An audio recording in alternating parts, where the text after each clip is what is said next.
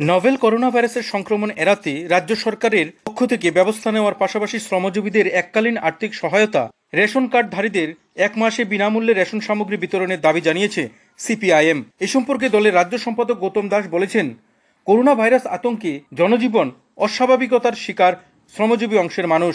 মুখ্যমন্ত্রী শনিবার সাংবাদিক সম্মেলন করে এই ভাইরাস সম্পর্কে সচেতনতা বাড়ানোর জন্য রাজ্যের মানুষকে বললেও শ্রমজীবী জনগণের জন্য সরকারের তরফ থেকে কোনো কর্মসূচির কথা শোনা যায়নি।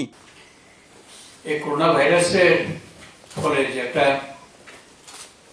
প্রায় জনজীবনের মধ্যে একটা অস্বাভাবিকতা এবং তার শিকার হচ্ছেন শ্রমজীবী মেহনতি মানুষ।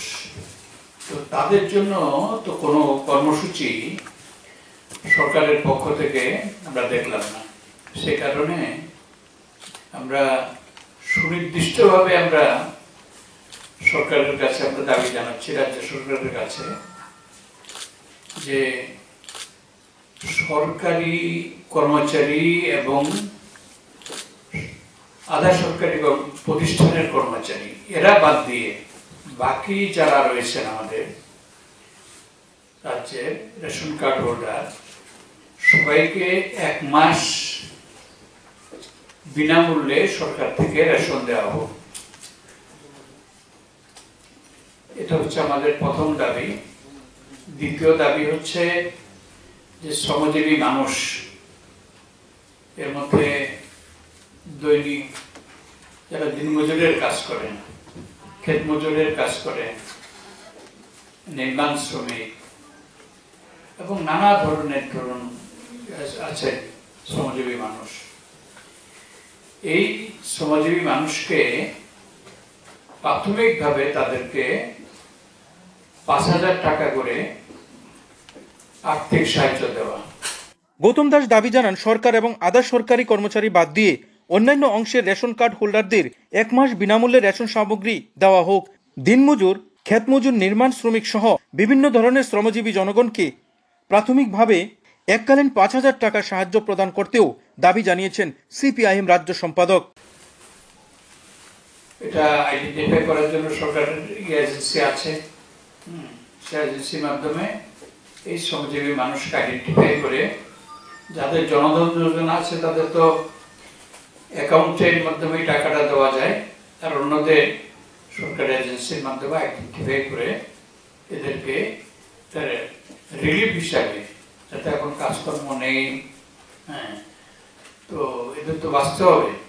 সারা দেশের অবস্থা তো আমরা ভয়াবহ দেখলাম, আমরা পত্রপত্রিকাতে প্রায় চার কোটি মানুষ। কর্মহীন হয়ে পড়েছে। তো সুতরাং আমাদের রাজ্যে যারা এরকম অবস্থার মধ্যে রয়েছেন, তাদের একদিকে রেশন বিনামূল্যে রেশন এক মাসের জন্য এবং পাঁচ হাজার টাকা করে এককালীন আপাতত আর্থিক সাহায্য দেওয়া। নোভেল করোনা ভাইরাসের সংক্রমণ এড়াতে রাজ্য সরকারের পক্ষ থেকে প্রয়োজনীয় ব্যবস্থার উদ্যোগ নিতেও দাবি জানান সিপিআইএম রাজ্য সম্পাদক। গৌতম দাস বলেছেন, রাজ্যে এখন পর্যন্ত একশো একাত্তর জনকে পর্যবেক্ষণে রাখা হয়েছে, যদিও কারোর শরীরেই করোনা ভাইরাসের সংক্রমণ পাওয়া যায়নি। এটা একটা ভালো দিক বলে মন্তব্য করেছেন তিনি।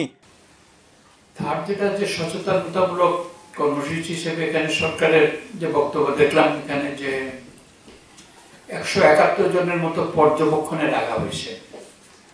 যদি আমাদের এখানে কোনো পজিটিভ কেস এখন পর্যন্ত পাওয়া যায়নি, এটা ভালো দিক। গৌতম দাস দাবি জানান, রাজ্যের জেলা এবং মহকুমা হাসপাতালগুলোতে কোয়ারেন্টাইনের ব্যবস্থা নেওয়ার পাশাপাশি আইসোলেশন পর্যাপ্ত ওয়ার্ড রাখা হোক। হাসপাতালগুলোতে প্রাথমিকভাবে রক্ত পরীক্ষার জন্য প্রয়োজনীয় সংখ্যক কিট মজুত রাখতে হবে এবং বিনামূল্যে মানুষকে সরকার থেকে তা বিতরণ করতে হবে।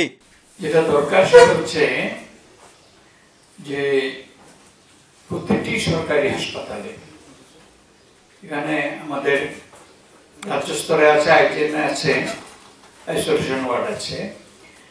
তো রাজ্য, জেলা, মহকুমা হাসপাতালগুলোর মধ্যে সেখানে এই কোয়ারেন্টাইনের যাতে ব্যবস্থা থাকে।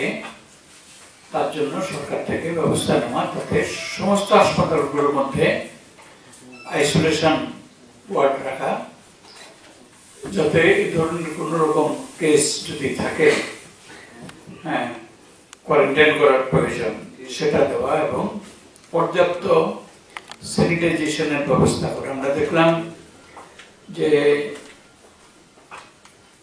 কিটের অভাব, প্রাথমিক পরীক্ষার জন্য।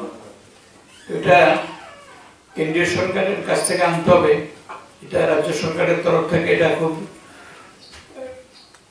আরও তাদের জোরালো ভাবে ইয়ে করা দরকার। কেন্দ্রীয় সরকারের কাছে উপস্থিত করা যাতে কিটস দ্রুত সরবরাহ করে সবাইকে মাস্ক সরকার থেকে দেওয়া। হ্যাঁ এটা গরিব মানুষের পক্ষে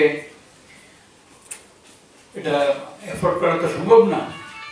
সুতরাং এটা সচেতনতামূলক কর্মসূচি হিসেবেই সরকারি তার বিভিন্ন ইয়ের মাধ্যমে এগুলো জনসাধারণকে মাস্ক বিলি করুক এবং বাজারে যাতে কোনো রকম ইয়ে না হয়, জিনিসপত্র হোর্ডিং না হয়, জিনিসপত্রের দাম না বাড়ে, তার জন্য সরকারের নজরদারি রাখতে হবে।